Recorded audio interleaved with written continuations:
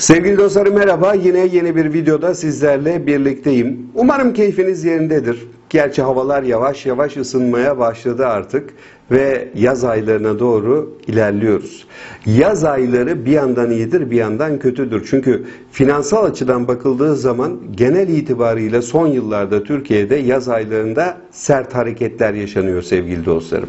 Geçtiğimiz yaz biliyorsunuz Ağustos ayında kur şokunu yaşamıştık ve bu yazda yine görünen o ki bir kur şoku daha yaşayacağız. Çünkü çok net emareleri var, belirtileri var ve Temmuz, Ağustos ayları gibi biz sert hareketler görebiliriz. Bunu bir kenara not edelim sevgili dostlarım. Bu giriş niye yaptık?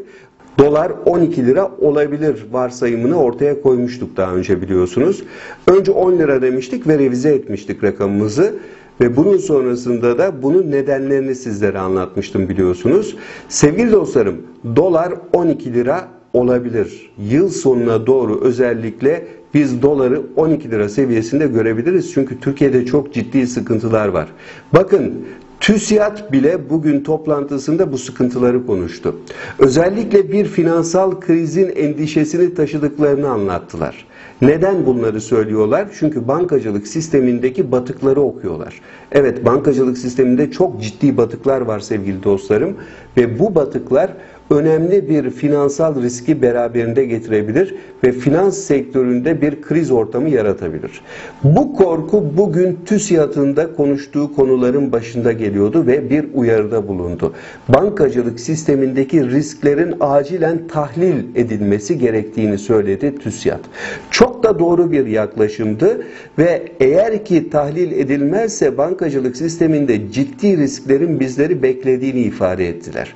Peki neye dayanarak bunu söylediler? Biliyorsunuz ben de yaklaşık iki ay önce bankacılık sistemindeki risklerin çok yoğun olduğunu sizlere aktarmıştım. Bunu söyleme nedenim de belliydi. Reel sektörün sıkıntıları ki reel sektörün sıkıntıları çok ayan beyan ortaya dökülmüştü zaten. Konkordatolar, iflaslar arka arkaya geldi. Gerçi seçim dönemlerinde konkordato ve iflaslar yasaklandı ama seçimlerin bitmesiyle birlikte hızlı bir şekilde yeni iflaslar, konkordatolar görebiliriz. Ki bu arada şunu da söyleyelim. Şirketler her ne kadar iflas etmese de, her ne kadar konkordato ilan etmese de baskı üzerine baskı yaşadıkları için bir yandan işçi çıkartmaya devam ediyorlar, bir yandan küçülüyorlar, bir yandan da bankaları olan borçlarını ne yazık ki ödemiyorlar sevgili dostlarım. İşte bu borçları ödemedikleri için çok ciddi bir sıkıntı olduğunu ifade ediyor TÜSİAD. Aynı benim iki ay önce sizlere aktardığım gibi. Evet, İki ay önce bunu gördük. Neden? Çünkü bankacılık sistemi sevgili dostlarım 100 milyar liranın üzerinde bir batık kredinin üzerinde oturuyor. Bu aslına bakarsanız iceberg'in yani buzdağının görünen kısmı. Bir de görünmeyen kısmı var tabii ki. O da aslına bakarsanız batmak üzere olan ama ısrarla batırılmayan, ortaya çıkarılmayan, süre verilen krediler, yapılandırılan krediler. İşin içine onların da girmesi durumunda tehlike sınırına hızla girilebilir. Ve eğer ki %15 barajı dediğimiz o çizgi aşılırsa sevgili dostlarım bankacılık sisteminde önemli bir krizle karşı karşıya kalabiliriz. Peki neden ısrarla bankacılık sistemindeki bir krizden bahsediyorum sizlere ve neden TÜSİAD bu noktayı işaret ediyor bizlere?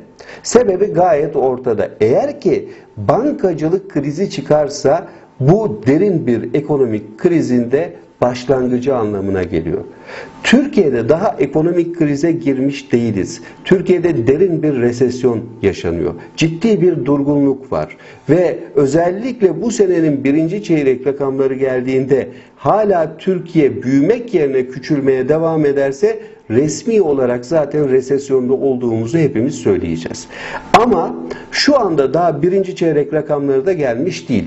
Görünen şu, büyüme rakamları eksi gelecek. Çünkü sanayi üretimi her geçen gün düşmeye devam ediyor.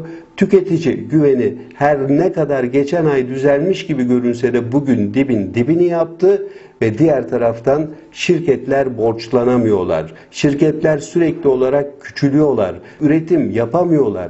Yeni istihdam yaratamıyorlar.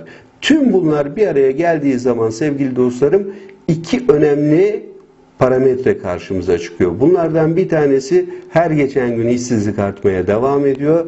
İkincisi de ne yazık ki Türkiye'yi büyütecek olan o aksiyon sektörler küçülmeye devam ediyor. Bu da Türkiye'yi küçültmeye devam ediyor. Sevgili dostlarım TÜSİAD bu toplantıda iki hatta üç önemli başlıktan bahsetti. Bunlardan bir tanesi döviz konusuydu. Doların ciddi hareketler yapabileceğinden bahsetti ve TL eğer ki hızlı bir şekilde değersizleşirse bunun ciddi zararları olabileceğini ifade etti. İkincisi tabii enflasyon konusuna değindi. Enflasyonun kontrol altına alınmasının çok çok çok çok önemli olduğunu söyledi TÜSİAD ki bence de öyle ve tabii ki bir de bankacılık sistemine değindi. Şimdi bu üç temel konuyu ben aylardır sizlere anlatmaya çalışıyorum sevgili dostlarım.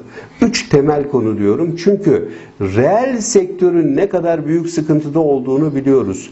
Bir de buna bankacılık sistemi eklenirse ve reel sektör iyiden iyiye borç bulamaz hale gelirse yani bankacılık sistemi kendi krizinden dolayı reel sektörü fonlayamazsa, oraya kredi aktaramazsa işte o zaman çifte kavrulmuş lokumdan bahsederiz. Öyle bir kriz yaşarız ki bir yandan reel sektör dip yapar, bir yandan bankacılık dip yapar ve diğer taraftan da dolarla enflasyonda tavan yapar sevgili dostlar. İşte bu riskleri çok net görmemiz gerekiyor. IMF yine bir açıklama yaptı. IMF'de şunu söyledi. Türkiye'nin acil bir şekilde içi dolu bir pakete geçmesi gerekiyor. Evet, içi dolu bir ekonomik paketle dünyanın karşısına çıkması gerekiyor ki yabancı yatırımcıları ülkesine çekebilsin ya da dünyadan uygun fiyatlı kredi bulabilsin. Aslında IMF şunu söylüyor. Türkiye artık borçlanamıyor diyor. Çok da haksız değil sevgili dostlarım. Bakın biz swap piyasasında faiz oranlarımızı yükseltmemize rağmen tefeciden bile borç alamaz hale geldik. Onun için zaten sürekli yaptığımız seçim harcamalarını ihtiyat akçesiyle karşılamaya çalışıyoruz Merkez Bankası'ndan. Ha Seçim harcamaları ve ihtiyat akçesi demişken Türkiye'nin ilk 4 aydaki borcu 54 milyar lirayı aştı sevgili dostlarım. Bu neredeyse geçen yılın bütçe açığıyla aynı.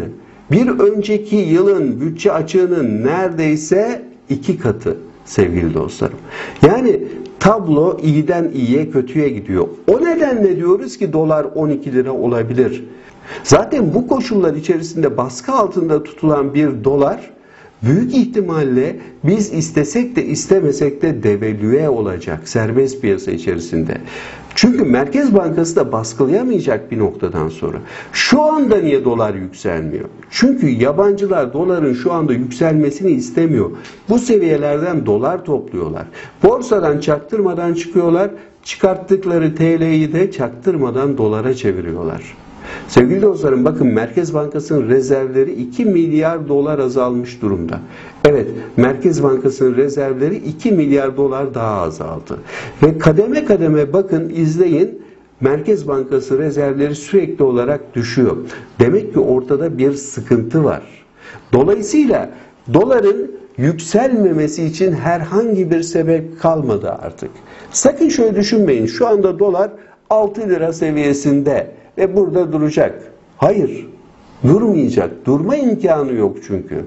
Keşke dursa, keşke aşağıya inse ama doları sabitlemek istiyorsak ya da doların aşağıya gitmesini istiyorsak gerçek anlamda reform paketlerine ihtiyacımız var. Bu reform paketin içinde ne olabilir sevgili dostlarım? Yabancıların çok daha rahat yatırım yapabilecekleri bir hukuki ve adil ortamın sağlanması. Türkiye'de gerçek anlamda bir demokrasinin olduğunun tüm dünyaya inandırılması. Bakın biz demokrasi olduğunu iddia edebiliriz. Ama dünya buna inanmadığı sürece biz ne yaparsak yapalım boş. Bizim onlara doğru sinyalleri göndermemiz gerekiyor.